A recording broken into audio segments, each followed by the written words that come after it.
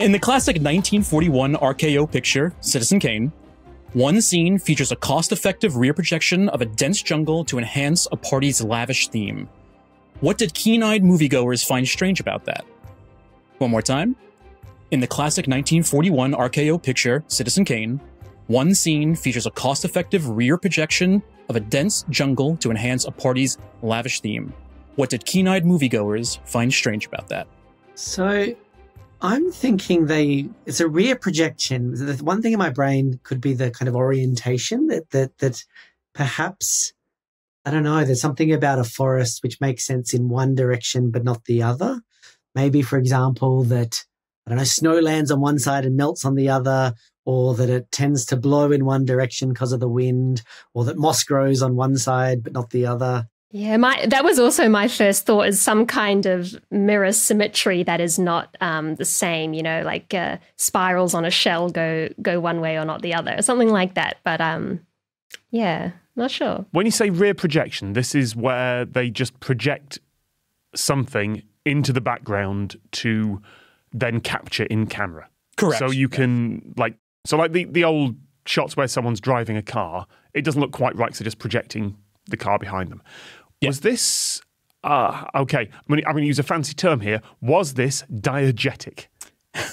was this uh, a rear projection in the movie's plot, like they are enhancing the party by putting a background of a jungle there for the characters, or is it for the audience of Citizen Kane, like this party is meant to be in a jungle? No, yeah, I mean it's both one and the same almost. It was a jungle themed party in essence, but you know the props on stay on set probably weren't enough to make it look real. Right.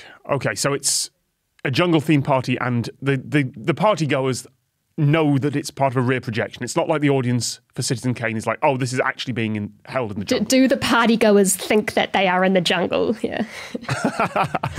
it's it's the latter. They're not. They're the party goers don't know it's rear projection. The party goers think it's just part of their of their world. Okay. Because part of me wants to hold a party and just start showing Forest and see if it just kind of raises the, the vibe, you know? Maybe that's the way you're meant to celebrate do ILM rent out that sort of fancy volume stage they use for modern rear projection yeah. just to move the cameras around, give people a bit of psychedelic trip as the perspective changes? That actually, for parties nowadays, that's a good idea. Okay, Toby, you said they'd flipped it or something like that. Did they just put the film in upside down? Like it was flipped the other way, and it looks fine because it's trees and jungle, and then at some point, some keen-eyed moviegoer can go, "That parrot is flying upside down." It it's not having to do with the orientation but it is very much the type of thing that somebody would pick up on otherwise compared to what in terms of what you just said. Could be that could it be that they you know how like people really know their trees. Now I, I um met someone who does a radio show and he said that if you want to just like if you don't have anything to, to do, you can just choose a natural item and say, uh, do you guys know any birds? And they just get call ins about people who love their birds. there are people that love their trees. Are they in a location, but all these trees are not from that location? So they've got either the wrong time of year or the wrong type of tree. It's the right kind of road, it's the wrong kind of object. How metaphorical was that? Not. Uh, not too metaphorical, honestly. But and and I, if if you're familiar at all with classic Hollywood, maybe think why would the the the wording of the question mention the the, the studio?